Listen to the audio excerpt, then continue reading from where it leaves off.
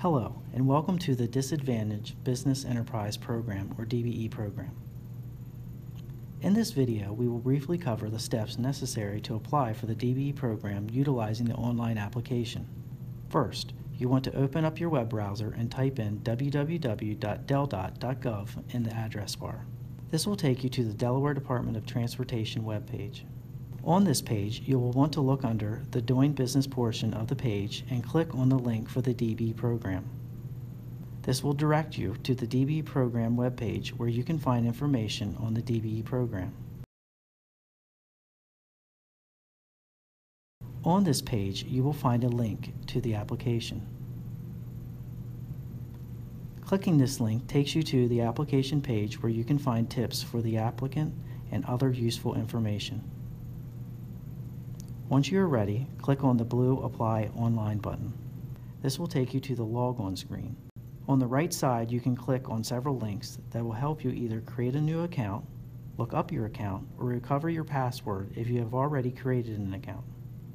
After you log in, you will be taken to your dashboard. The system will then ask you several questions to guide you to the correct application.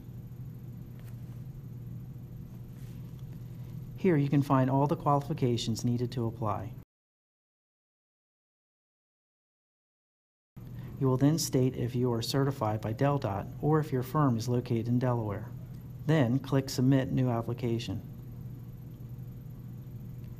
After answering these questions, you will then begin the process of entering the data necessary to complete the application by going through each module. Some modules will require you to upload the required documents. Please have them scanned and ready in a folder on your computer that you can easily access while completing the application. After completing all the modules, you will electronically sign the application and then hit Submit. Please ensure that you receive an on-screen confirmation prior to navigating away from the web page. If you have any questions while filling out the application, feel free to contact us using the information provided on the contact page of the DBE program.